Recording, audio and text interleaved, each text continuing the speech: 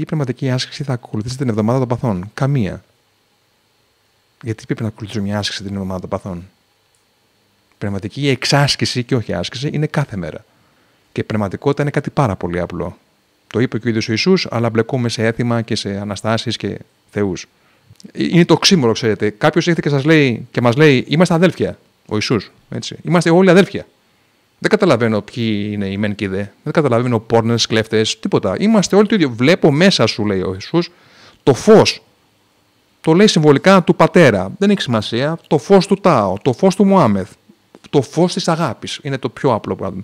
Μέσα σου δεν βλέπω τον Μίτσο Φαλακρό με μουσια. Βλέπω πιο μέσα. Δεν βλέπω το έξω. Ωραίο το μπουζάκι του Μίτσου, το κάνω παρέα. Δεν μου αρέσει το μπουζάκι του Μίτσου να πάει στο διάλογο. Και είμαστε όλοι το ίδιο φως. Είμαστε το ίδιο, όλο θεϊκοί. Μέχρι εδώ τα λέει ο καλά. Μάλλον δεν τα είπε ποτέ άσχημα. Και ένας τρόπος υπάρχει για να δεις έτσι όπως βλέπω εγώ. Τι ρωτάμε όλοι, γίνε παιδί. Τι εννοείς να γίνει παιδί; Αν είμαι 55 χρονών, επειδή είσαι 55 χρονών φορτωμένος με ανοησίες ότι άλλο πράγμα είναι χριστιανοί, άλλο με μεθανοί, άλλο οι Παλαιστίνοι, άλλο οι Ισραηλίτες, άλλο οι Τούρκοι και άλλοι οι Έλληνες, σβήστε όλα αυτά και ξαναγίνε παιδί που όταν ήσουν παιδί δεν ρωτάγε από πού είσαι, πόσα λεφτά βγάζεις, από ποιο χωριό από την πάνω, ηγουμένη ή από την κάτω. Είσαι χριστιανός ή μουσουλμάνος και κάνεις υπολογισμούς ως παιδί, ερχόσουν σε επαφή με τα άλλα παιδιά. Και ξαφνικά λέει η οργανωμένη θρησκεία, παρακάλα έναν Θεό, Κύριο, Βασιλιά, ανώτερο από σέναν, εσύ ο δούλος αμαρτωλός. Και ξαφνικά ξαναγινόμαστε από ένα, που θέλει ο Ιησούς να μας διδάξει, γιατί αυτό σημαίνει αγάπη. Αγαπάτε τους πάντες, είπε. Αλλήλους, δεν είπε αγαπάτε χριστιανούς. Γίνετε παιδιά, δηλαδή αγαπάτε, δεν, δεν έχει σημασία ποιος είναι μπροστά μου. Βλέπω το φως του πατέρα. Ξαναγινόμαστε μετά δύο. Εγώ, αμαρτωλός, δούλος, σκλάβος και πάνω ο Θεός. Και το ξαναχάμε πάλι την μπάλα. Η εξάσκηση λοιπόν η πραγματικότητα είναι απλά να σταματήσω αυτό το, τη δομή που έχω μέσα. Που ο Σοκράτης βέβαια το είπε, μια ανοησία γνώση. Άρα τίποτα δεν γνωρίζω. Άμα τα πάρουμε πρακτικά. Γιατί αυτές είναι οι συζητήσεις που κάνουμε. Δεν είναι κατά. Είναι απλά να ξέρουμε το πόσο πολύ παρεκκλίνουμε και πόσο εθελημένα η οποιαδήποτε θρησκεία, δεν είναι μόνο χριστιανική, πάει σε άλλα μονοπάτια.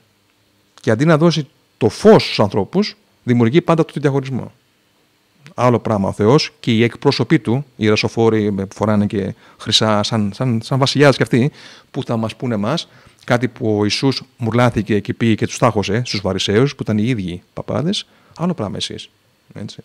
Οπότε δεν έχω καμία πραγματική άσκηση να κάνω στην εβδομάδα των παθών. Ε, έχει νόημα να καταλάβουμε όχι τα πάθη, που θέλει πάρα πολύ να, η, η, η θρησκεία να μας τα κοπανάει. Δεν πρέπει να δεινοπαθήσουμε, να παθήσουμε. Ο Σταυρός που κουβαλάει για εσάς το έκανε. Ο θυσιάστηκε ο Ιησούς για εσάς και τέτοια άλλα ενοχικά.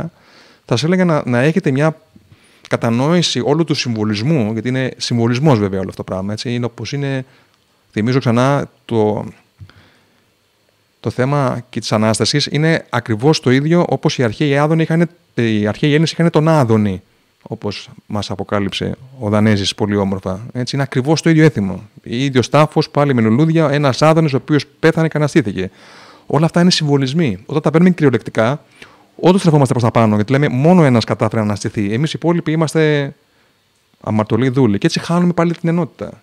Όταν θα δω την ουσία, τι είναι αυτό που πεθαίνει, που είναι μόνος νους, και τι είναι αυτό που ανασταίνεται, είναι ο μήνου, και άρα ζω μια ζωή μέσα στο φως και στην αγάπη, αρχίζω και κάνω κάτι γι' αυτό. Γιατί αυτό που λέγαμε στο βίντεο, ότι ωραία όλα αυτά τα έθιμα, ό,τι και αν πιστεύετε, θέλει καθημερινή εξάσκηση. Γι' αυτό και λέω στη Γεωργία, δεν είναι πραγματική άσκηση για την εβδομάδα, είναι πραγματική εξάσκηση κάθε μέρα, η οποία είναι πάρα πολύ απλή. Προσπαθώ να βρω τρόπους, ό,τι εμένα μου αρέσει, να αποτραβιέμαι από το νου.